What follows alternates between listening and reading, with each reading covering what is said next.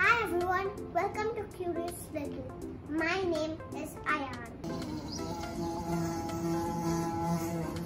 That sounds like a bee. Did you know that bees make a yummy golden liquid called honey? Yum! Let's find out how do bees make honey. Turns out that flowers have a secret pocket where they hide some sweet liquid.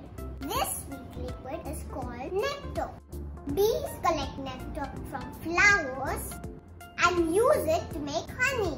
I noticed something that I have to share with you. The sweet liquid found in flowers are running little droplets, just like water. This is so different from the thick and sticky honey. What if bees are magicians? Keep watching if you want to know about their magic potion. Bees fly from one flower to another, collecting stomachs full of nectar. Bees store nectar in their special honey stomach, where all the magic starts happening. I'll tell you more about that in just a moment. But strange things happen when bees go back to their hives.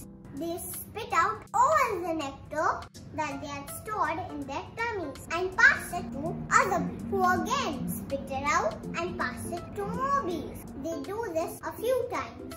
You may be thinking, yeah, why do they do this?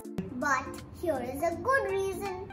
Inside the bee's honey stomach, there is a magic liquid potion called enzymes. As soon as nectar enters the bee's tummy and with the enzymes, it gets thicker and stickier, making it more like honey. As bees keep passing on the nectar from one bee to another, the nectar mixes with more and more of the magic potion until it finally becomes the yummy honey. Interesting, isn't it? Once the honey is ready, the bees keep the honey safe by storing containers they make out of wax. This is called a honeycomb. Just like bees, there's magic in all of us. It's fun quiz time now. What do you think would happen if bees ate plenty of blue M&Ms? They will make blue honey.